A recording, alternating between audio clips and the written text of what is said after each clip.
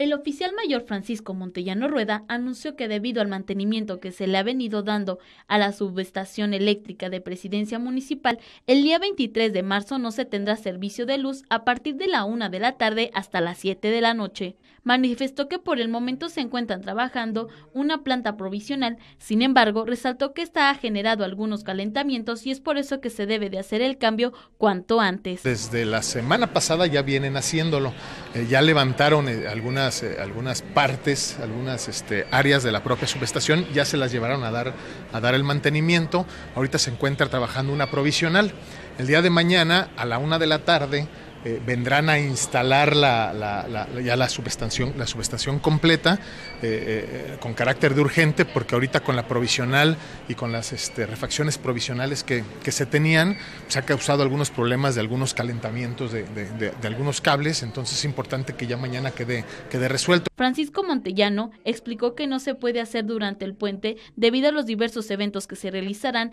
en este primer cuadro de la ciudad. Yo le había pedido que el día jueves, que ya no había este, trabajo hicieran todo ese proceso. Más sin embargo, ahorita por el tema de la, de, la procesión y de los puestos que se ponen y el cierre del, del, centro, va a ser muy complicado. Me pedía él que por favor cortáramos la luz el día de mañana a la una de la tarde para poderle dar salida y puedan instalar ya esta planta con el compromiso de ellos de que mañana mismo ya quedara lista y no se trabajara ya en viernes y, y sábado, que iba a haber mucha aglomeración aquí en la parte del centro. Es por ello que hace una recomendación a la ciudadanía que para el día de mañana anticipe participen los trámites, ya que no contarán con ningún tipo de sistema después del mediodía. Vamos a tener eh, el tema de la luz que le da energía al servidor y a todo el tema de internet y a todo el tema de computadoras hasta la una de la tarde. Entonces le solicito su apoyo para difundir esto en el cual toda la gente que tenga, tenía pensado el día de mañana venir a hacer algún trámite, lo haga eh, eh, a temprana hora para poder nosotros este, apagar los equipos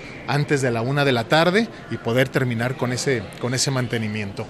Con imágenes de Rosa Duarte para Via Noticias, Karina Ramírez.